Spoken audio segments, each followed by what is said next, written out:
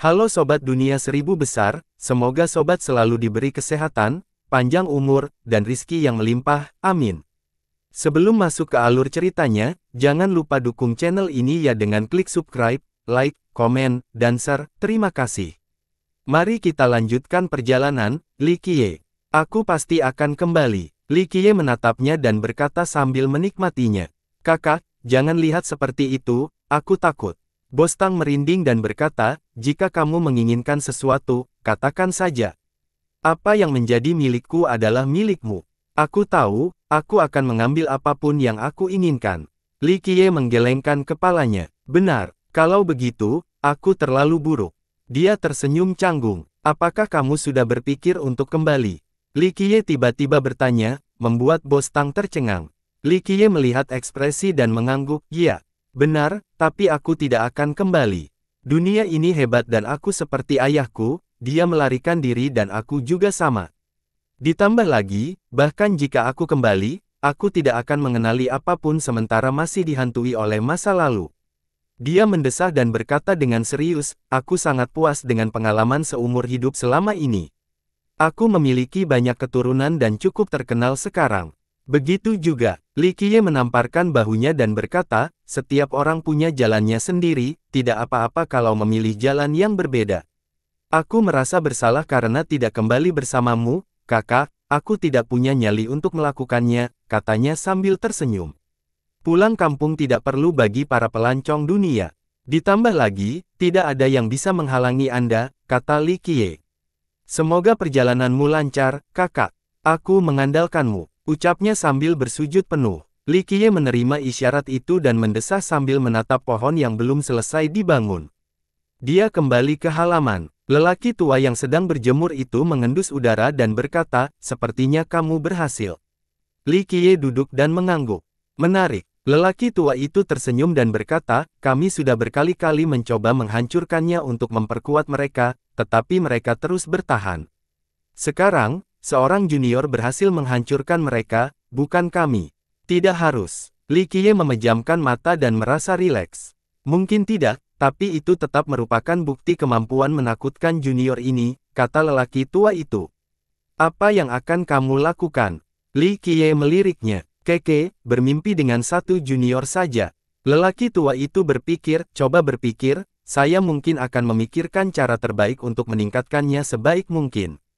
Bagaimanapun, konsumsinya seni. Bagaimana kalau bukan itu masalahnya? Tanya Li Qiye. Hem, kalau begitu aku harus mengendalikan keserakahanku atau akulah yang akan dimakannya, kata lelaki tua itu. Hanya saja ini tidak masuk akal. Li Qiye menggelengkan kepalanya. Lelaki tua itu membuka matanya sedikit untuk mengintip ke dalam angkasa. Ia berkata, ya, saya rasa hanya dia yang bisa melakukan ini. Apakah kamu ingat batu yang saya ceritakan? Sepertinya dia terlihat. Li Qiye mengangguk. Menurut pendapatku, ada kemungkinan besar dia menemukan yang ketiga. Nah, itu menarik. Kata lelaki tua itu. Ketiganya, Li Qiye mengusap dagunya. Orang tua itu berpikir sejenak sebelum bertanya, jika aku punya tekad untuk menemukan yang ketiga, hehe, memberitahukan siapa yang akan kuhadapi pertama kali dengan pedangku. Bukan surga yang jahat. Li Qiye tersenyum. Benar, masih belum bisa bertemu dengan tiga batu. Aku punya dua pilihan, menggunakannya sebagai batu loncatan atau... Dia berhenti sejenak dan membuka matanya sedikit lebar untuk menatap Li Qiye untuk benar-benar menggunakannya. Itu tidak akan berakhir dengan baik. Li Qiye, aku tidak bermaksud mengarahkannya kepadamu saja, mungkin akan lebih. Baik jika mereka digunakan sebagai batu asah, persiapan yang sempurna. Kata lelaki tua itu, itu agak gegabah, tahu siapa yang akan menjadi batu penajam dalam skenario itu setelah satu kesalahan. Kata Li Qiye, lihat, jika aku adalah surga yang jahat, aku akan senang melihat situasi seperti itu. Sedikit kesabaran sebelum memanfaatkan momen yang tepat untuk pukulan yang menentukan, menyelesaikan semua ujung yang longgar sekaligus. Hama dan bayangan, hilang sekali dan untuk selamanya. Kata lelaki tua itu, Tergantung pada skenarionya, siapa yang lebih unggul dalam skenario ini masih belum diketahui, kata Li Qiye. Saya akan melakukan segalanya, kata lelaki tua itu. Itulah alasan kamu bukan surga yang jahat. Li Qiye, Ya, kelemahan terbesarku adalah nafsu makanku yang tak terpuaskan. Kalau saja aku bisa mengendalikannya, hehe, aku pasti bisa menguji kekuatanku. Kesempatan itu sudah hilang sekarang, kata Li Qiye. Hah, kejam sekali. Kenapa kamu tidak bisa membiarkan orang mati bersenang-senang selama beberapa detik? Keluh lelaki tua itu, itu bukanlah skenario yang realistis untukmu. Jika kau bisa mengubah caramu, maka aku mungkin akan menjadi mayat di sini sekarang. Li Qiye tersenyum. Heh, sulit untuk mengutarakannya, bisa jadi dia juga, kata lelaki tua itu. Li Qiye mendengus, tidak menyangkal kemungkinan ini. Jika Anda ingin berpose, sekarang mungkin kesempatan terbaik. Jalan yang jelas terbentang di hadapanmu. Kata lelaki tua itu, itulah yang diinginkannya. Li Qiye tersenyum. Tentu saja, kau bisa mengambil jalan lain dan mengejutkannya. Bahkan, ini mungkin bisa mengejutkan surga yang jahat juga. Kata lelaki tua itu. Sekarang, Li Qiye bertanya sambil tersenyum tipis. Saya dengan tulus mendiskusikan masalah ini dengan Anda. Orang tua itu merasa sedikit tidak nyaman. Rasanya seperti kau mencoba berlayarku, kata Li Qiye. Oh, tidak yakin dengan hati daumu kali ini. Apakah Anda menyerah pada godaan? Kau tahu, itu bukan dosa. Jatuh ke dalam kegelapan itu indah, kamu bisa bebas menuruti keinginanmu dan merasakan kenikmatan yang luar biasa. Saat aku berpesta dulu, gembiranya. Dia menjilat bibirnya dan matanya berbinar cerah. Tidak perlu berhayal, kamu sudah mati. Li Qiye menyela. Sialan, diseret keluar dari fantasinya membuatnya sedih. Ia kemudian berkata, apa yang berarti pendekatanmu, ciuman seperti seorang pendeta pertapa. Di permukaan, Tampaknya kau mengendalikan segalanya tetapi pada kenyataannya, kau membelenggu dirimu sendiri dan menahan potensimu. Kau adalah budakmu sendiri. Hati daoku tak terbatas dan kebebasanku tak terbatas. Li Qiye tersenyum. Apa yang kamu dapatkan dengan semua kegembiraan ini? Tidak ada. Setidaknya surga yang jahat di atas sana benar-benar berkuasa. Bahkan saat kau mengalahkannya, tidak ada yang bisa kau dapatkan. Kata lelaki tua itu. Perbedaan kita adalah mengapa aku hidup dan kamu tidak. Kata Li Qiye. Hahaha, katakan apa pun yang kau mau. Lelaki tua itu tertawa, saya yakin Anda akan mempertimbangkannya lagi di masa depan. Ingat kata-kataku, godaan yang manis itu tidak terkonfirmasi. Tidak ada gunanya mencoba membujukku. Aku tidak butuh kegembiraan seperti itu untuk membuktikan keberadaanku. Li Qiye menggelengkan kepalanya. Bagaimana kamu tahu kalau belum coba? Tanya lelaki tua itu. Orang tua itu jelas-jelas berusaha membujuk Li Qiye agar masuk ke dalam kegelapan. Sayangnya, Li Qiye tidak menunjukkan minat. Baiklah, apakah kamu akan menginstalnya terlebih dahulu atau tidak? Dia mengganti topik pembicaraan. Tergantung apakah dia bersedia bertemu. Kalau tidak, akan sulit. Kata Li Qiye, tapi kamu berhasil menemukan kami, itu seharusnya tidak menjadi masalah sekarang. Lelaki tua itu tersenyum. Kalian, semua terlalu mudah ditemukan karena keserakahan kalian yang tak terbatas. Bahkan jika aku tidak mencarinya, kalian pada akhirnya akan mengetuk pintuku. Kata Li Qiye, jika Anda benar-benar ingin, Anda akan dapat memastikan bahwa Anda bersedia membayar harganya. Saya yakin Anda telah berkonsultasi sebelumnya. Kata lelaki tua itu, baiklah, ini hanya masalah waktu saja, aku tidak perlu membayar apa pun. Ucap Li Qiye, Kau akan menjelajah sebelum ekspedisimu. Lelaki tua itu mengerti. Hal yang sama berlaku untuknya, kata Li Qiye. Semua orang ingin menyingkirkan hama di kebun seelum fokus pada tujuan utamanya. Pertanyaannya, siapa di antara kalian yang merupakan hama sebenarnya? Tanya lelaki tua itu. Aku mengira sebagai hama dan aku yakin dia juga tidak punya pandangan baik terhadapku, kata Li Qiye. Hem, kalau aku benar-benar mau, Aku bisa mengikuti petunjuknya, kata lelaki tua itu. Dia tidak menginginkanmu, tahukah kamu alasannya? Kata Li Qiye, keserakahan, dan aku pun akan merasakan hal yang sama. Bau keserakahan kita dapat tercium di 3000 dunia. Begitu kita melangkah keluar, kita akan langsung menjadi sasaran para penjahat intelijen. Lelaki tua itu mengangkat bahu. Dia membutuhkan tempat untuk menetap dan itu tidak mungkin dilakukan dengan kelompokmu, surga akan tiba pada akhirnya. Li Qiye setuju, tapi surga tidak, tahukah kau kenapa? Giliran lelaki tua itu yang bertanya. Cukup mudah, Li Qiye berkata, jika Anda punya kotoran yang ingin dimakan, Anda butuh anjing. Setelah pekerjaan selesai, Anda bisa membunuh anjing pemakan kotoran itu setelahnya. Brengsek, tidak bisakah kau lebih sopan dalam berbicara? Umpat lelaki tua itu, bahasaku kasar, bukan logikaku. Li Qiye berkata, kebenarannya tidak jauh dari ini. Mengapa aku tetap tinggal di sini? Tentu saja untuk menjaga kalian semua. Begitu juga dengan kelompok kalian, Aku tidak melihat adanya rasa persaudaraan selama pertikaian internal. Jadi kamu juga seekor anjing. Orang tua itu bercampur, kesal dengan kata-kata kasar Li Qiye. Tidak, akulah si idiot desa, siap melawan anjing mana pun sampai mati jika diprovokasi. Bunuh dulu, bicara lagi nanti. Kata Li Qiye. Hahaha, lelaki tua itu tertawa dan berkata, jika kamu seorang idiot, maka seluruh dunia juga idiot. Saya berharap ini benar sehingga Anda bisa mulai terus-menerus. Dengan siapa? Aku masih mencari, bukan. Li Qiye mengulurkan tangannya. Jangan berbohong padaku dan mengatakan bahwa kamu tidak tahu di mana dia sekarang, kata lelaki tua itu. Bagaimana aku harus mengutarakan? Segala sesuatu yang belum dikonfirmasi hanyalah ekonom belaka, itu bukan gayaku. Kata Li Qiye, haha, waktu yang akan menjawabnya. Orang tua itu tertawa dan berkata, apakah kamu tidak takut bahwa surga yang jahat akan menemukan orang lain? Siapa lagi? Hanya ada dua orang idiot di desa ini dan mereka tidak tertarik dengan posisi kepala desa.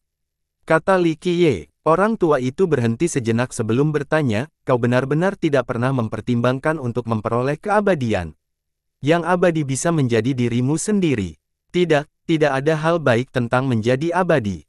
Li Qiye menjawab dengan lugas. Hidup yang kekal dan tak terhancurkan, kata lelaki tua itu. Tidak tertarik. Li Qiye menggelengkan kepalanya. Semua orang ingin menjadi abadi, tak terkecuali, begitu pula dirinya. Kematian adalah mimpi abadi, kata lelaki tua itu. Begitu juga dengan kehidupan. Saya menyebut kehidupan abadi sebagai takdir yang lebih buruk dari kematian. Li Qiye tersenyum. Itulah alasannya saya katakan kamu bodoh dalam hal ini, karena belum merasakan kenikmatan kebebasan yang sesungguhnya. Pada saat itu, kamu akan ingin hidup selamanya. Kata lelaki tua itu, anjing juga menganggap kotoran sebagai makanan paling lezat di dunia karena mereka tidak pernah mempertimbangkan kemungkinan untuk tidak terjadi bersamaan. Li Qiye membalas, persetan denganmu. Orang tua itu mengumpat lagi. Kalian semua menolak untuk mengakui kebenaran ini. Apakah kalian atau dia pernah mengatakan tidak? Untuk mengatasi keinginan dalam hati kalian. Kata Li Qiye, dunia ini milik kita, tergantung keinginan kita, tidak perlu mengatakan tidak, kata lelaki tua itu. Itulah mengapa kita berbeda, dunia adalah dunia, aku adalah aku, kata Li Qiye. Dan itulah sebabnya hidupmu sengsara.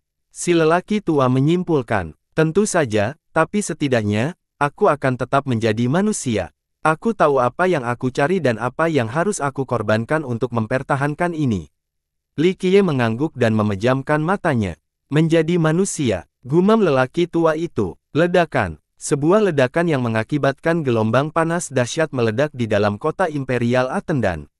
Semua orang merasakan aura dominasi di dalam kobaran api bersama dengan cahaya hijau. Tanaman merambat mulai melingkar ke udara untuk menahan api.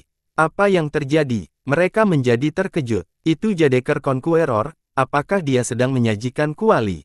Seorang jagoan besar terkejut. Ledakan. Di sisi lain, kobaran api dengan sinar gelap di dalamnya melesat ke udara. Kobaran api itu memancarkan aura tirani dan menyebar ke seluruh Imperial Atendan, seolah ingin membakar kota itu. Jika ini terus berlanjut, gedung-gedung yang lebih tinggi bisa menjadi abu. Kaisar Kuali Api Gelap. Leluhur kuno mengenali pemilik api ini. Kenapa ada di sini? Apa dia juga sedang menyalakan kuali? Banyak yang menjadi bingung. Mereka sedang berkompetisi, mungkin ini akan menentukan apakah Suppression Conqueror akan mengembalikan jabatannya ke Imperial Gate. Para ahli dari kota itu memahami kejadian itu. Apa hubungan Dark Flame Cauldron Emperor dengan Suppression Conqueror? Seorang bertanya-bertanya karena alkemis ini bukan bagian dari Imperial Atendan. Kaisar Kuali Api Gelap adalah anggota kehormatan 100 Dao. Karena penakluk penindasan ingin mempertahankan kendalinya, ia harus mengikuti aturan dan mengalahkan penakluk Jadekar dengan konfirmasi. Kaisar Kuali adalah satu-satunya kandidat yang mungkin. Seseorang menjelaskan, waktu berlalu dengan cepat, ini adalah pemilihan umum lagi. Seorang anggota generasi terakhir dari kota itu berkata, jika Suppression Conqueror dan Hundred Dao menang lagi, mereka akan meletakkan fondasi yang lebih kuat dari sebelumnya, satu langkah lebih dekat untuk menjadi cabang ortodoks. Pertarungan antara Jadeker Conqueror dan Dark Flame Cauldron Emperor akan menentukan penguasaan Imperial Attendant City selanjutnya. Jika yang pertama menang, Suppression Conqueror harus mengembalikan kekuasaan kembali ke Imperial Gate. Di sisi lain, keberhasilannya akan memungkinkannya untuk perlahan-lahan mengubah sistem dan pedoman, yang memungkinkan Hundred Dao untuk bertanggung jawab secara sah di masa depan. Gemuruh, badai petir tampak terbentuk di atas kota, Gelombang tanaman merambat dan dedaunan berkumpul membentuk penghalang untuk menghentikan sambaran petir. Kesengsaraan menunjukkan sedang terbentuk. Seorang ahli berkata, sepertinya kuali pil panjang umur yang diasah waktu. Sekarang akan disempurnakan seratus kali. Penguasaan apinya sangat hebat, apakah dia bisa mengejar Master Surgawi Yuan di masa depan? Komentar alkemis lainnya. Semua orang paham bahwa konspirasi mengindikasikan kebesaran, pil dengan kualitas terbaik. Jika benar-benar kualitas terbaik, maka hanya 3-5 pil saja sudah cukup untuk bertahan dalam waktu yang sangat lama. Seorang leluhur kuno merasakan jantungnya berdetak lebih cepat. Nenek moyang kuno tidak menginginkan apa pun selain obat-obatan untuk memperpanjang umur, dan pil-pil yang ada di hadapan mereka adalah yang terbaik dari yang terbaik. Tentu saja, pil-pil Dark Flame juga efektif, meskipun memiliki efek samping yang cukup besar. Jika para pembudidaya punya pilihan, mereka pasti akan memilih pil berumur panjang Jadeker Conqueror sebelum pil Dark Flame. Ledakan, api hijau milik Jadeker Conqueror melesat ke atas kuali milik Dark Flame dan menghalangi tembakan lebih lanjut. Sepertinya pemenangnya sudah ditentukan. Beberapa alkemis berkomentar, gerbang kekaisaran akan kembali berkuasa. Penduduk kota lebih menyukai perkembangan ini, otoritas kembali ke cabang ortodoks. Namun, aura kekuasaan di dalam neraka jahat itu semakin kuat dan membuatnya semakin kuat. Semua orang menjadi beku karena Dark Flame tampaknya telah dikuasai oleh seorang penakluk. Nerakanya menjadi lebih dari 10 kali lebih kuat. Ledakan, ia menerobos awan dan menghancurkan blokade api milik sang penakluk, dan menguasai keadaan dalam sekejap mata. Kuali Jadeker melepaskan naga api sebagai balasan. Sayangnya, api neraka yang gelap itu telah menjadi sangat dahsyat. Kenapa? Semua orang terkejut dengan perubahan mendadak itu. Kaisar Kuali telah terinspirasi oleh seorang penakluk yang sangat kuat. Seorang leluhur kuno berkata, itu pasti penakluk penindasan. Penipu, teriak mereka yang berada di pihak Alchemy Dao, merasakan bahwa pihak lain sedang melakukan curang. Tidak juga, Seorang jagoan yang paham aturan itu menghiburnya dan berkata, Jadeker Conqueror bisa saja menemukan seseorang untuk memberdayakannya juga, hanya sekutunya yang lebih lemah. Resplendent Monarch adalah yang terkuat tetapi dia tidak bisa bersaing dengan Suppression Conqueror. Ini sudah terjadi sejak meninggalnya Armor Conqueror. Petik 2. Saya pikir Jadeker Conqueror akan kalah. Para penonton berkata sambil merasa kasihan padanya, sepertinya Suppression Conqueror akan menang lagi. Kembali ke halaman, Li Qiye mengamati duel tersebut tetapi dia menyadari sesuatu dan bangkit untuk membuka pintu. Dia kemudian melihat sekelompok orang yang langsung tergeletak di hadapannya, Raja Cemerlang, Raja Penjaga Labu, Raja Obat Mujarab, Raja Baja Suci, Orang Suci Saoyao, para leluhur gerbang kekaisaran. Ada apa? Alis Li Qiye berkerut. Saintes Sao Yao mendongak dan berkata, Bangsawan muda, Anda adalah penguasa pelayan kerajaan. Para pelayan Anda menunggu kepulangan Anda. Silakan kembali ke istana dan memerintah lagi, bangsawan muda. Raja yang cemerlang menambahkan dengan hormat. Aku khawatir kamu salah orang. Li Qiye menggelengkan kepalanya, tidak tertarik mengambil alih tugas pelayan kekaisaran. Pendiri kami, Tuan Kota Ziyan, menggambar potretmu, bangsawan muda. Seorang leluhur dari gerbang kekaisaran memberikan sebuah kotak harta karun dengan kedua tangannya. Ia membuka kotak itu dan memberikan gulungan itu kepada Li Qiye. Dia mendesah dan membuka gulungan itu untuk melihat gambaran jelas dirinya dan tanda tangan Ziyan. Di bagian bawah ada baris lain, menunggu kepulangan Anda, Tuan Muda. Berdengung, Tanda tangan itu mulai bergerak dan memancarkan cahaya ungu.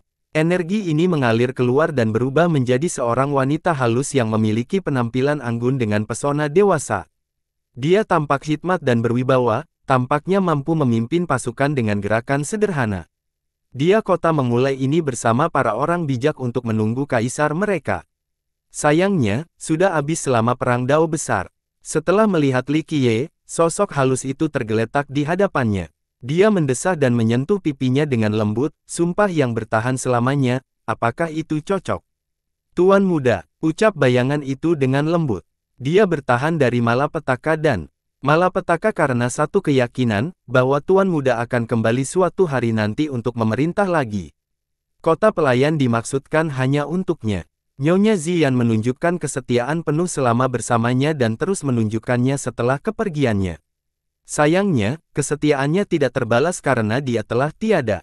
Kehidupan abadi melahirkan momen-momen yang menyedihkan ini, menyaksikan orang-orang terkasih dan teman-teman menghilang begitu saja. Meskipun tidak ada seorang pun yang benar-benar dapat hidup selamanya, beberapa orang hidup lebih lama daripada yang lain.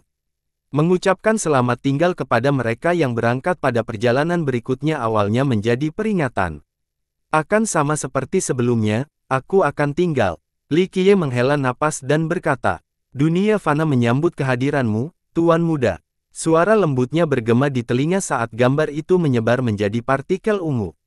Dia mengulurkan tangan dan merasakannya menghangatkan tangannya, mendesah sedih. Kaisar telah kembali. Raja yang cemerlang dan yang lainnya bersujud sambil melantunkan, silakan kembali ke istana dan gunakan otoritasmu sekali lagi. Ternyata setelah kembali ke dinastinya, Leluhur Hallowed Steel berpikir dengan saksama pertemuan itu. Dia memanggil leluhur dari berbagai kekuatan sebelum memastikan bahwa Li Qiye adalah orang yang mereka tunggu. Ini telah menjadi misi mereka selama berabad-abad. Tentu saja, Li Qiye tidak tertarik dengan masalah-masalah duniawi, duduk di atas tahta dan menjalankan kekuasaannya di atas orang lain. Meski begitu, dia melirik ke arah duel di langit dan mengiyakan, kalau begitu, mari kita pergi ke penguasa kekuasaan. Ya, Kaisar, yang lainnya menjadi gembira dan membenturkan kepala mereka ke tanah. Air mata kebahagiaan mengalir di pipi mereka. Bahkan dalam mimpi mereka, mereka tidak melihat diri mereka sebagai orang yang akan memenuhi misi abadi. Rombongan itu mulai menuju ke istana utama gerbang kekaisaran, sumber kota. Penguasa kota Zian pernah tinggal di sini dan memberi perintah selama perang besar. Para orang bijak juga serta dalam perang ini selain mendukung dan menyelamatkan para kaisar. Setelah kepergiannya, raja yang tak tertandingi dan yang lainnya tetap menjaga warisan dan misinya. Zaman keemasan mereka telah menjadi masa lalu yang jauh. Saat ini, Imperial Attendant City hanya dikenal karena alchemy Dao. Selama pengambil alihan Suppression Conqueror, kota itu semakin menjauh dari cabang ortodoks. Dari kejauhan, Istana kerajaan menyerupai benteng yang tidak dapat dihancurkan, dibangun dari logam suci yang dimaksudkan untuk menahan serangan apa pun. Istana itu sendiri jelas mengesankan, tetapi yang paling mencolok adalah raksasa-raksasa yang menjulang tinggi di halamannya. Bahkan, orang bisa melihat raksasa-raksasa itu dari hampir seluruh penjuru kota.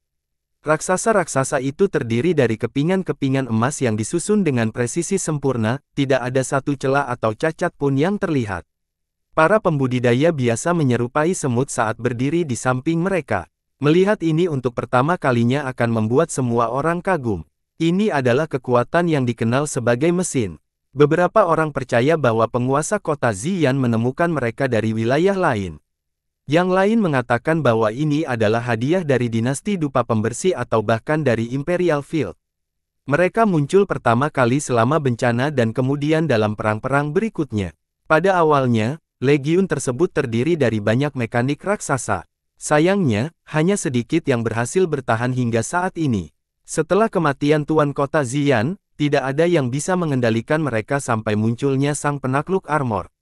Dia adalah salah satu mesin yang berhasil mencapai Dao, dan akhirnya menjadi seorang penakluk melalui pelaut. Dia dapat berkomunikasi dan mengendalikan mesin-mesin lainnya. Mereka bertugas sebagai pelindung kota selama Perang Kaisar, menangkal musuh hingga bala bantuan datang. Setelah kematian, mesin-mesin itu menjadi raksasa-raksasa dekorasi di luar istana utama, tidak dapat bergerak lagi. Kenyataannya, keturunan Imperial Atendan dari semua cabang telah mencoba mengaktifkannya. Bahkan Suppression Conqueror sendiri telah melakukan banyak penelitian pada mekanisme tersebut tetapi tidak menemukan apa pun, tidak ada yang mampu mengaktifkannya. Mesin-mesin tersebut sangat dihormati bahkan oleh para penakluk dan kaisar-kaisar terkemuka.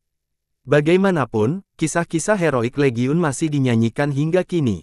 Faktanya, para penakluk dari dinasti dupa pembersih yang tertutup juga datang untuk membantu. Ini tidak menghasilkan hasil apa pun selain konfirmasi hubungan antara dinasti dan mesin. Li Qiye mengamati para raksasa itu. Pemandangan ini sudah tidak asing lagi karena dialah yang menarik mereka kembali dari dunia yang hancur. Dia menghabiskan waktu lama untuk memikirkan cara mengaktifkannya, tetapi gagal. Hal ini berubah setelah ia memulai zaman baru. Hukum alam berubah karena dunia dipenuhi dengan kekuatan dan kekacauan energi yang sebenarnya. Mesin-mesin yang pernah dimatikan dengan kekuatannya akhirnya bisa bergerak lagi. Saat kelompok itu menunggu di luar aula utama, Sekelompok nelayan berbaju besi berjalan keluar dengan aura yang mengancam. Mereka mengarahkan tombak dan anak panah mereka ke arah Li Qiye dan yang lainnya. Gemuruh, sosok-sosok mendarat dari atas dan membentuk formasi untuk menghentikan kelompok itu. Rasa haus darah mereka terlihat jelas, jelas para veteran yang telah membunuh banyak musuh di Emdan Perang. Legiun Penindas, mata resplenden Monark membuka setelah melihat ini. Seorang jenderal dengan kilatan petir di matanya keluar dari istana dan memelotot ke arah pengunjung yang tidak diinginkan. Hadirin sekalian, hari ini adalah pertarungan abadi, silakan pergi. Ucapannya dengan dingin, beritahu Suppression untuk datang ke sini untuk menyambut kembalinya kaisar kita. Teriakan leluhur Hallowed Steel sebagai tanggapan. Leluhur kuno, pilihlah kata-katamu dengan hati-hati. Tuanku adalah pemimpin pelayan kekaisaran, dia tidak perlu menyapa siapa pun. Jenderal itu membalas dengan keras. Tidak perlu membuang kata-kata. Raja cemerlang meraung dan melangkah maju.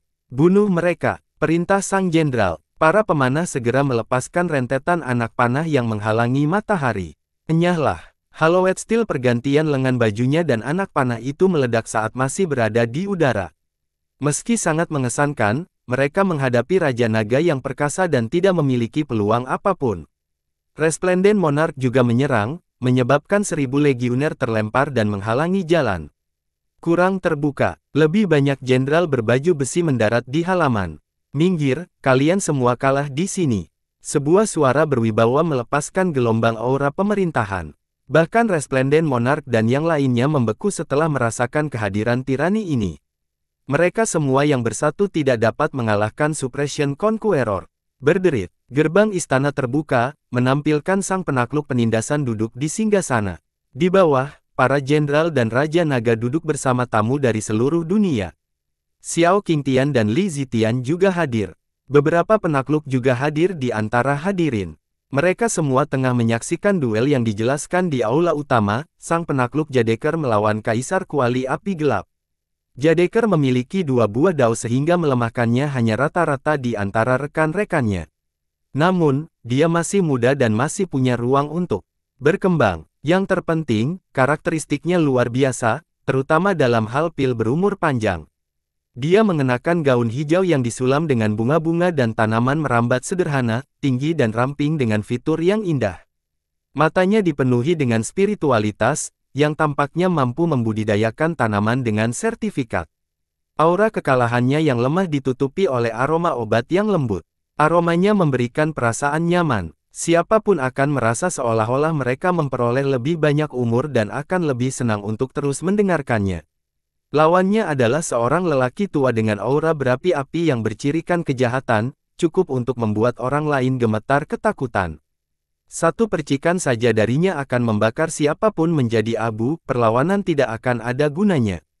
Sebuah jimat yang menggantung di atasnya dan terus-menerus memberikan kekuatan, alasan di balik kekuatan besar neraka jahatnya. Dari segi karakteristik saja, dia satu langkah lebih lemah dari Jadeker Conqueror. Sayangnya, statusnya yang kuat jelas lebih unggul jadi itu hanya masalah waktu. Apa maksud dari gangguan ini, tuan-tuan? Tahta penakluk penindasan dikelilingi oleh awan saat dia memandang ke bawah ke semua orang. Hukum daunnya sama mencekiknya seperti sebelumnya. Kaisar telah kembali. Beri hormat, penindasan. Raja yang cemerlang meninggikan suaranya.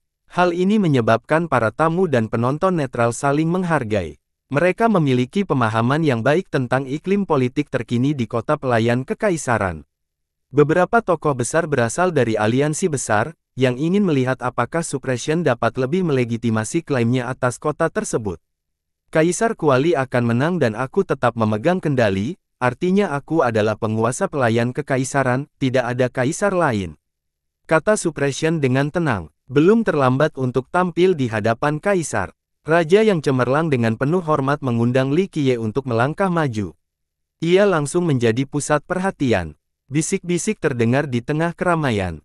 Xiao Qingtian dan Li Zitian sangat penasaran.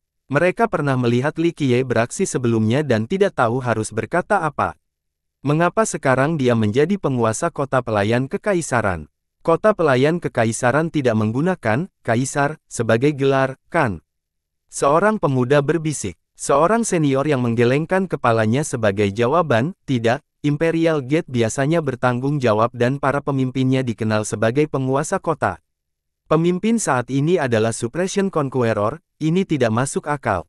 Salah satu anggota berkumpul. Orang luar tidak setuju dengan Suppression Conqueror yang bertanggung jawab. Bagaimanapun, dia memiliki 11 buah dao dan cukup cakap. Selain itu, Hundred Dao adalah bagian dari Imperial Attendant. Mereka mengikuti aturan leluhur dan mengambil alih kendali sebagai hasilnya, tidak ada orang lain yang lebih memenuhi syarat daripada Suppression Conqueror. Di bawah kepemimpinannya, ada peluang bagi Imperial Attendant untuk menjadi pemimpin Imperial Alliance kembali ke masa kemasannya. Beberapa orang lebih memilih melihat kota itu berkembang pesat di bawah pemerintahannya daripada merosotnya demi legitimasi. Saya pernah mendengar hal seperti ini mengenai nama kota itu. Pelayan kerajaan, kata mengesankan menyiratkan seorang kaisar. Rumor mengatakan bahwa tuan kota Ziyan dan yang lainnya sedang menunggu seseorang. Kata seorang leluhur kuno, itu hanya legenda yang kemungkinan besar direkayasa oleh keturunan di masa depan. Yang lain tidak setuju karena kaisar yang disebut-sebut tidak muncul pada era sebelumnya. Hundred Dao dan Suppression Conqueror juga tidak mengenali legenda dan misi ini, hanya kekuatan di cabang utama seperti Alchemy Dao. Penindasan, berlututlah sebelum terlambat. Teriak Raja Cemerlang sekali lagi. Para pendengar mengira hal ini mustahil. Meskipun seorang penakluk sebelas buah bukanlah yang terkuat di benua atas, ia tetap menjadi salah satu yang terbaik. Menyuruhnya untuk berbaring di hadapan seseorang adalah keunggulan yang bodoh. Penindasan menjadi terganggu dan fokus. Aura menakutkan menjadi keluhan dan memaksa para pendengar yang lebih lemah untuk tiarap ke tanah. Raja Gemilang dan para leluhur kuno lainnya tidak dapat menahan peningkatan yang tiba-tiba itu dan terhuyung mundur. Hem, Pelayan tua Li Qiye melangkah maju dan berubah menjadi gunung suci yang mampu melindungi dunia selama berabad-abad mendatang. Aura kekuasaannya tidak dapat menggerakkannya sedikit pun, hanya cukup untuk membuat jubahnya berkibar. Siapakah Anda, rekan Daois? Tekanan menjadi serius setelah melihat ini. Dia tidak percaya bahwa pelayan tua ini mampu menghentikan tekanannya dengan mudah. Hanya seorang pembantu, jawab lelaki tua itu. Para pendengar tidak dapat mempercayainya. Mereka mengamati lebih dekat dan dapat mengatakan bahwa dia menakutkan, hanya saja kekuatannya tidak sehebat itu. Mengapa dia mau menjadi pelayan? Suppression belum pernah mengalami situasi ini sebelumnya. Dia bertemu banyak penakluk dan penguasa Dao yang kuat selain melihat yang terbaik. Namun, tidak ada satupun dari mereka yang memiliki pelayan yang kuat itu. Tidak apa-apa, biar aku yang mengurusnya. Li Qiye menamparkan bahu lelaki tua itu dengan lembut. Yang terakhir membungkuk dan dengan hormat mundur ke belakang, menutup matanya dan tidak mengatakan apa pun lagi. Keberadaan yang kuat dapat menawarkan layanan dan kesetiaan mereka, tetapi tidak pernah dengan cara ini. Misalnya, aliansi memiliki 12 penakluk buah yang bekerja untuk mereka. Namun, mereka tetap angkuh dan tidak perlu menyebut diri mereka pelayan. Meskipun demikian, banyak orang tidak punya waktu untuk berpikir dan diam-diam memperhatikan Li Qiye. Dialah yang mengubah 18 gambar Raja Naga. Seseorang mengenalinya. Bagaimana dia melakukannya? Seorang petinggi merasa heran dengan hal ini. Saya mendengar rumor bahwa dia adalah keturunan atau bahkan putra dari Duality Master. Yang ketiga ikut bergabung. Duality Master. Judul ini saja sudah membuat para pendengarnya berdecak kagum. Dia adalah seorang pria yang belum hidup namun mampu berdiri sejajar dengan makhluk-makhluk puncak. Dia tetap netral dalam konflik dan dapat minum di Heaven atau Imperial Alliance. Bahkan kisah tentang perjalanannya ke Istana Surgawi juga telah diwariskan. Dia berdiskusi tentang Dao dengan para kaisar di sana dan ini juga terjadi di kota Dao abadi. Di satu telinga dan keluar dari telinga yang lain, aku akan melepaskanmu dengan mudah tetapi sekarang, sepertinya aku harus menendangmu dari tahta itu. Li Qiye menguap dan berkata, Tentu saja, Suppression tidak menanggapi komentar itu dengan tenang. Matanya berkilat mengancam dan membuat ketakutan penonton, tetapi Li Qiye tetap tidak mempengaruhi. Beberapa orang yang pernah melihat Li Qiye sebelumnya tidak mengerti bagaimana dia selalu tenang dan acuh tak acuh dalam situasi apa pun. Ini sangat mirip dengan Duality Master. Siapa kamu? Suppression merasa kecewa karena dia tidak bisa melihat Li Qiye. Sesaat, Pria itu tampak seperti seorang guru yang tidak terduga, tetapi sedetik kemudian, dia hanyalah seorang pejalan kaki di jalan. Siapa aku tidak penting. Li Qiye menyelimuti tubuhnya dan berkata, ini adalah kesempatan terakhirmu untuk kabur sebelum aku bergerak. Semuanya akan berakhir pada saat itu. Para pendengar tidak percaya apa yang mereka dengar karena dia berbicara dengan seorang penakluk yang hebat. Tentu saja, beberapa orang di benua atas dapat membunuh Suppression Conqueror. Namun, itu tidak akan mudah bahkan bagi para pembudidaya tingkat atas. Menghancurkan sebelas buah dao tanpa meninggalkan apa pun adalah tugas yang sulit karena buah-buah itu sangat kuat. Mungkin hanya orang yang telah memperoleh pohon anima yang dapat melakukannya. Itu rasa percaya diri yang tinggi. Seorang tamu hadir mendengar komentar itu. Ekspresi penindasan menjadi gelap. Suasana hati yang buruk terwujud dalam untaian keinginan membunuh yang dapat memenggal kepala para penguasa naga, apalagi para penguasa biasa. Hanya master seperti Xiao Qingtian atau Li Zitian yang mampu menahan auranya. Tokoh-tokoh besar lainnya gemetar karena tekanan. Para jenderalnya marah. Mereka telah bertarung bersama sang penaluk dan bangga dengan keberhasilannya. Menghinanya sama saja dengan menghina mereka. Jika muncul mata bisa membunuh, Li Qiye pasti sudah mati seratus kali. Kalian harus mengalahkan kami sebelum kalian memenuhi syarat untuk bersaing dengan Yang Mulia.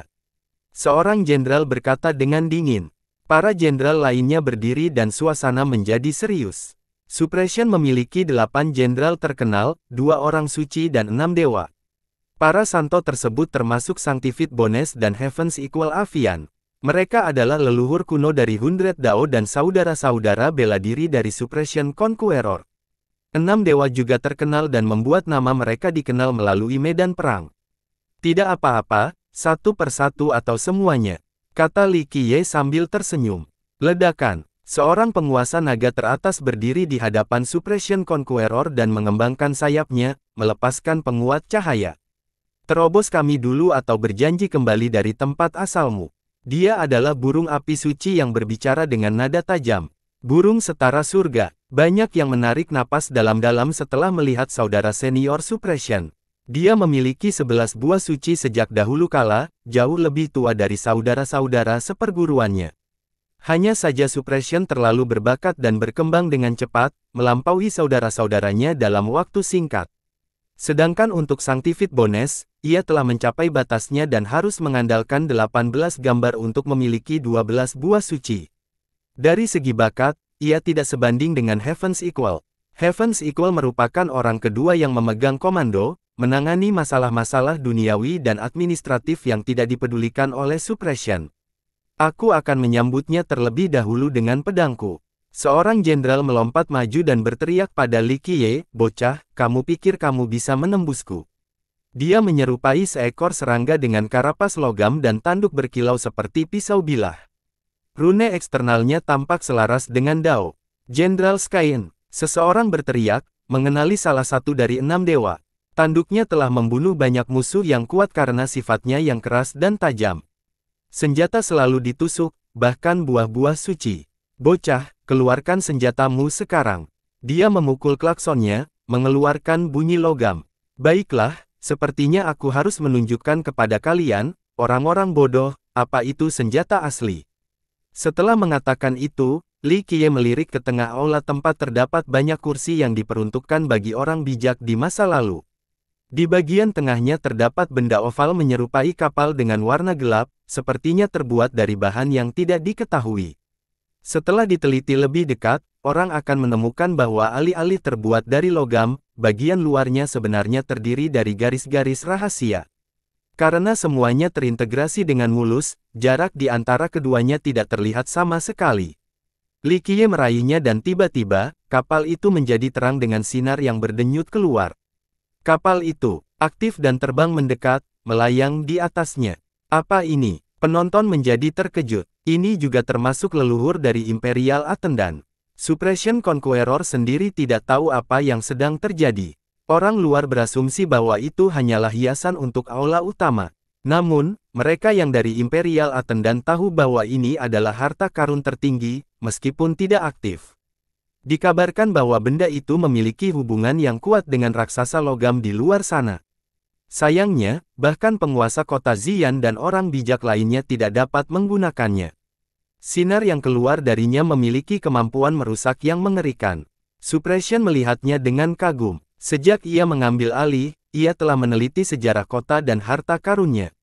Apakah Suppression Conqueror hanya peduli dengan otoritas dan pengaruh? Tentu saja tidak. Sebagai seorang yang berpikiran ulung, dia tentu saja tidak peduli dengan masalah politik. Tahta pelayan kekaisaran memang merupakan permata yang bersinar di atas mahkota. Namun, tujuan utamanya adalah untuk memahami dan menguasai misteri kota. Dari situ, dia akan dapat mencari jalan yang lebih tinggi. Misalnya, raksasa logam di luar istana atau kapal ini. Sejak pengambil alihan, dia tidak pernah berhenti meneliti masalah-masalah ini. Dia meneliti setiap detail di istana dan kota, begitu pula dengan mesin-mesin di luar. Ia pernah berpikir untuk mengambil semuanya sebagai miliknya. Sayangnya, ia mulai mengerti bahwa kota itu pasti dibangun di sini karena suatu alasan. Bahkan jika ia mengambil semua harta karun itu, semuanya tidak lebih dari sekadar besi tua. Kapal yang mengapung di atas Li Qiye adalah salah satu subjek penelitian utama. Ia tahu bahwa ada sesuatu yang lebih dari itu dan ia perlu memahami dasar-dasarnya sebelum mengaktifkannya. Jika dia bisa belajar menggunakan kapal dan para raksasa, dia akan mampu membangun kekuatan yang tidak kalah dengan aliansi kekaisaran atau ilahi. Kekuatan dan keefektifan para raksasa telah dibuktikan oleh penguasa kota Ziyan yang telah mengendalikan mereka selama beberapa perang. Dengan bantuan mereka, ia akan mampu mencapai puncak penakluk naga cahaya dan cahaya. Dia tidak dapat memahami bagaimana penelitiannya selama bertahun-tahun tidak lebih baik daripada lambaian tangan pemuda ini. Apakah kapal itu meremehkan dia dan usahanya yang tulus? Kaisar telah kembali. Pada saat yang sama, Raja Cemerlang dan sekutunya terharu hingga menangis. Ini adalah bukti lain bahwa mereka telah mendapatkan orang yang tepat. Sebagai anggota cabang utama, misi mereka adalah melindungi kota. Mereka tahu bahwa segala sesuatu di sini istimewa. Dulu ketika mereka masih berkuasa, mereka juga mencoba memahami harta karun itu. Hanya tuan kota Ziyan yang diketahui berhasil. Kini, pemuda ini berhasil mengaktifkan kapal kota, yang berarti dialah kaisar dalam legenda.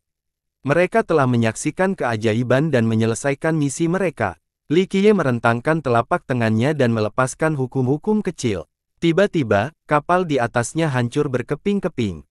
Dibayangkan tak percaya, pecahan-pecahan itu jatuh ke telapak tangan dan berubah menjadi partikel-partikel kecil. Mereka melilit tangan dan berubah menjadi sarung tangan berapi. Petik dua tanda seru petik dua. Penindasan berdiri dengan mata terbelalak karena tak percaya. Kapal itu telah berubah menjadi sarung tangan, sangat cocok untuk tangan Li Qiye. Penindasan tidak pernah memikirkan kemungkinan ini sebelumnya. Teorinya adalah bahwa kapal ini adalah harta karun utama yang dimaksudkan untuk melarikan diri dari bencana yang akan mengakhiri dunia. Sekarang, jelas bahwa itu adalah sebuah senjata. Apakah kamu pernah melihat hal seperti ini sebelumnya? Tanya Li Zitian. Para penonton telah melihat banyak harta karun, tetapi tidak ada yang seperti ini. Tentu saja, mereka tidak tahu bahwa itu berasal dari zaman yang berbeda. Itu luar biasa. Bahkan Jenderal Skyen tidak dapat menahan diri untuk tidak berseru setelah melihat ini.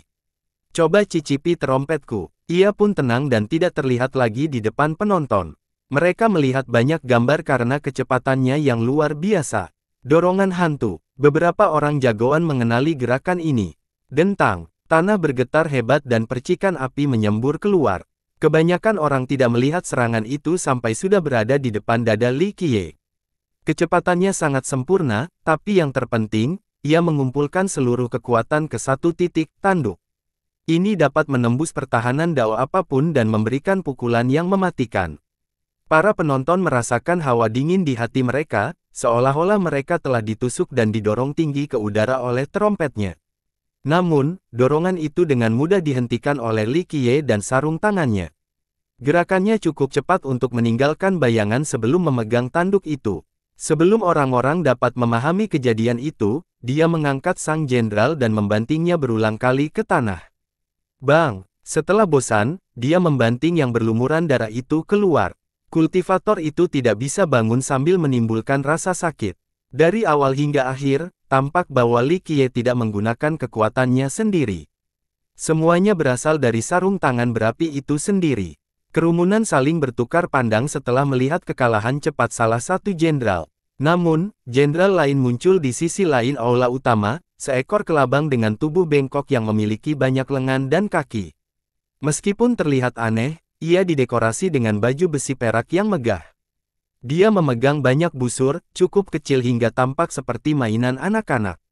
Alih-alih anak panah, busur mainan itu ditarik dengan benang dao. Setelah ditarik hingga batas maksimal, benang dao ini menjadi sangat tajam dan penuh dengan kekuatan. Sekadar melihat mereka saja membuat para penonton merasa seolah-olah tubuh mereka akan ditusuk ke dalam saringan.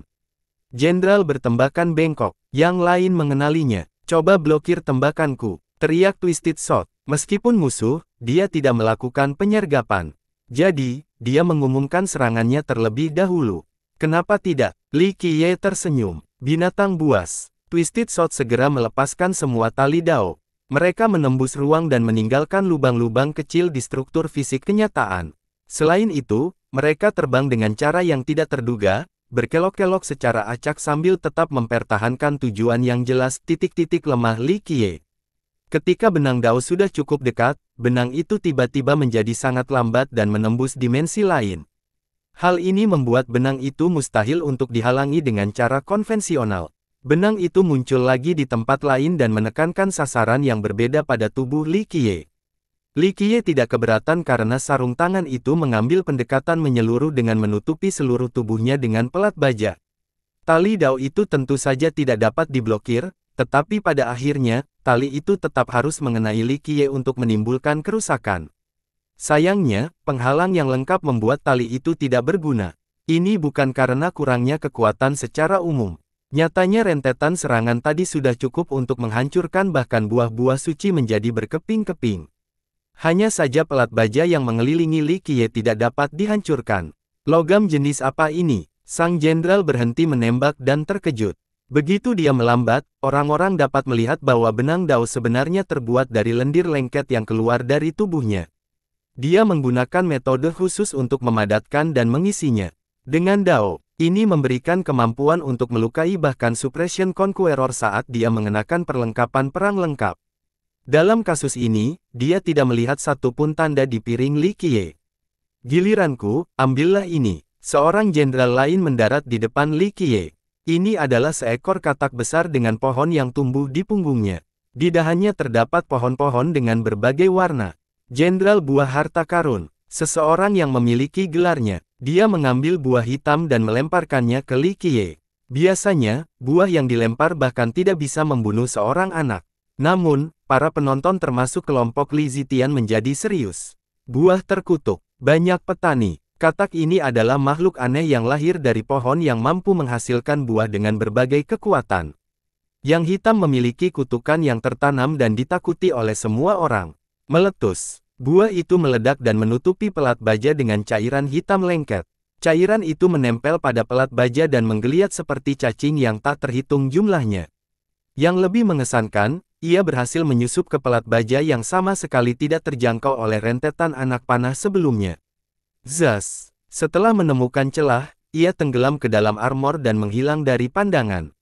Dia sekarang kena kutukan, teriakan seorang penonton. Cara terbaik untuk menangani buah itu adalah mencegahnya meledak dan mengeluarkan cairan hitam.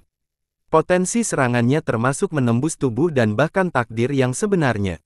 Hukum jasa sepertinya tidak berguna untuk melawannya. Anda tidak dapat menghentikannya. Buah harta karun sangat gembira melihat penyusup itu. Namun, pelat baja itu tiba-tiba surut dan berubah menjadi sarung tangan lagi. Sinarnya kembali menyala dan memaksa cairan hitam keluar sambil tetap memikatnya. Apa? Buah harta karun teringat setelah melihat ini. Apakah kamu merasa kedinginan? Li Qiye tersenyum dan mengulurkan tangan ke depan. Buah harta karun itu mengerti bahwa sudah waktunya untuk lari dan langsung mundur. Sayangnya, ia masih terkena api yang membawa cairan terkutuk itu. Ia masih memiliki properti yang sama seperti sebelumnya, selalu memburu target. Engah, benar saja, manuver mengelaknya akhirnya gagal dan dia pun menyalakan api. Para jenderal lainnya segera berlari dan membantu menyelesaikan api. Meskipun ia berhasil bertahan hidup, ia membakar dari atas sampai bawah dan mengeluarkan bau seperti kodok panggang. Giliranku, tiba-tiba seseorang berteriak, ledakan. Tanaman merambat keluar dari bawah Li Qiye dan melingkarinya dengan kecepatan yang mencengangkan.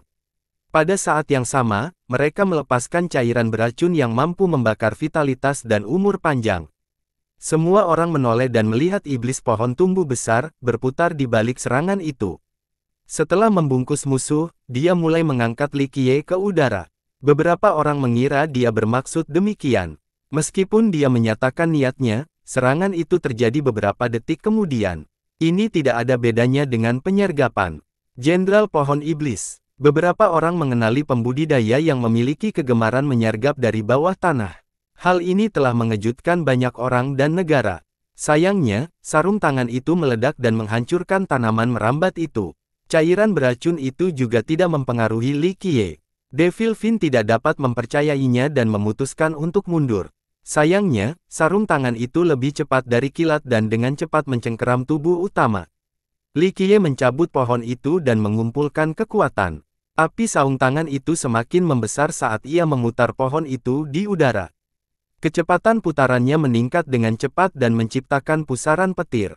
Aduh, akhirnya dia melepaskannya dan iblis pohon itu menghilang di cakrawala. Di daerah terpencil, iblis itu akhirnya jatuh dan menabrak beberapa puncak sebelum menghantam tanah. Begitu saja, Li Qiye telah mengalahkan empat sejauh ini, tidak ada yang mampu menghalangi satu gerakan pun dari sarung tangan. Saya akan mencobanya. Jenderal kelima masih belum menyerah. Ia melangkah maju dan banyak orang melihat bahwa ia memiliki dua kepala. Kepala-kepala itu tidak identik dan lebih mirip saudara. Hamha Jenderal, beberapa orang langsung mengenalinya karena kemunculannya yang unik. Bersiaplah, Hamha Jenderal berkata sebelum terbagi menjadi klon yang identik. Namun, mereka jelas nyata dan bukan hanya avatar Dao. Bagaimana dia melakukan ini? Seorang yang baru pertama kali melakukannya menjadi terkejut. Keahlian yang kumiliki sejak lahir, atau begitulah yang pernah kudengar. Kata seorang jagoan sambil mengamati klon-klon itu.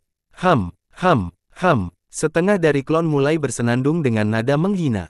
Ha, ha, ha. Yang lain tertawa terbahak-bahak. Kombinasi suara mereka menciptakan gelombang sonik di sekitar Li Qiye sebelum menekan ke dalam. Ambil kembali. Ruang itu sendiri runtuh dan sebuah lubang hitam tampak menarik Li Qiye. Sementara itu, lebih banyak gelombang sonik melesat maju dengan keras untuk menghancurkannya. Itu cukup merusak, tidak heran mengapa dia menjadi yang paling ditakuti di antara para jenderal. Seorang Raja Naga terkenal berkomentar, tidak yakin apakah dia bisa menghentikan serangan sonik itu. Li Qiye hanya mengangkat tangannya, tetap tidak terganggu oleh lubang hitam yang mengelilinginya. Alih-alih berubah menjadi baju besi yang diperkuat seperti terakhir kali, sarung tangan itu dibongkar dan berubah menjadi perisai cekung. Perisai-perisai itu mengirimkan kembali gelombang sonik dengan intensitas yang lebih besar tepat ke arah sang jenderal. Gelombang sonik yang datang tidak dapat menetralkannya. Para klon terlempar sambil terus dihantam gelombang sonik mereka sendiri. Jenderal yang asli meluncur di tanah dan membuat jalan berdarah. Dia hancur berkeping-keping hingga tidak dapat dikenal lagi. Hanya satu gerakan lagi, Tindakan balasan dari sarung tangan itu dengan mudah mengalahkan lawan-lawan Li Qiye. Penonton tidak percaya dengan apa yang mereka lihat. Suppression Conqueror gemetar karena kegembiraan saat relaksasi sepenuhnya pada sarung tangan itu. Benda itu terlalu kuat. Salah satu penonton berkata, sangat terkesan dengan harta karun ini. Senjata penguasa membutuhkan kekuatan dan vitalitas untuk digunakan. Beberapa di antaranya bahkan menuntut pengorbanan besar seperti darah atau umur panjang. Namun, sarung tangan atau kapal ini sepertinya tidak memerlukan penyaluran daya. Kapal ini memiliki respon otomatis terhadap semua penyerang. Jadi, bahkan seorang anak pun dapat mengalahkan para jenderal dengan kapal ini. Jenderal, paling olok-olok biasa-biasa saja, tidak layak disebut. Li Qiye berkomentar sambil tersenyum. Ayo kita maju lagi kalau kamu berani. Teriak burung setara surga, apa kamu tidak melihat apa yang baru saja terjadi? Baiklah, aku akan mengantarmu pergi jika kau mencari kematian. Li Qiye mendengus. Pekik. Heavens Equal menutupi langit dengan mengembangkan sayapnya dan melepaskan auranya yang menakutkan. Bersambung.